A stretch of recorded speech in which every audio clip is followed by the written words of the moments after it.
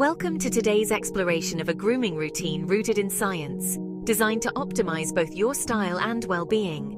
With a focus on evidence based practices, let's delve into the intricacies of grooming for a healthier, happier you. First up, let's talk showers. Contrary to popular belief, daily showers aren't always necessary. Showering with extremely hot water can lead to skin issues like rashes and dryness.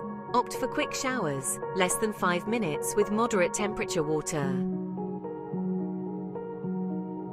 Shaving may seem straightforward, but incorrect technique can lead to skin irritation and infections. Proper shaving technique is essential to avoid nicks and acne.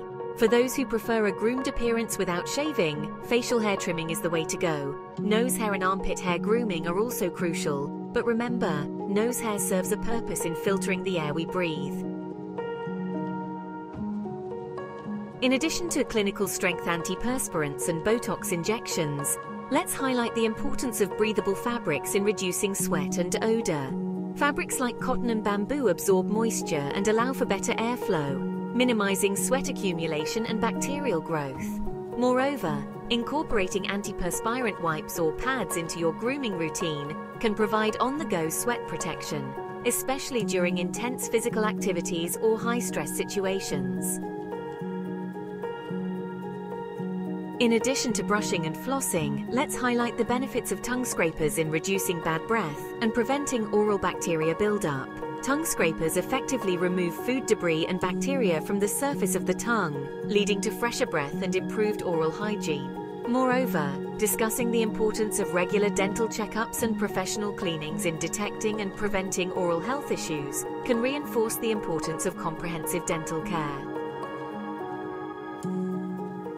While avoiding Q-tips inside the ears is essential, let's discuss the proper technique for cleaning the outer ear and removing excess earwax. Using a damp cloth or cotton swab to gently clean the outer ear can help prevent earwax buildup and reduce the risk of infections.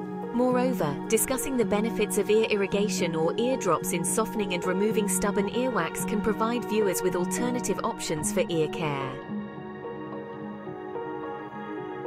A good skincare routine is essential. Moisturize regularly, especially if you have dry skin, and opt for products with SPF if you're spending time outdoors. Individualize your routine based on your skin's needs.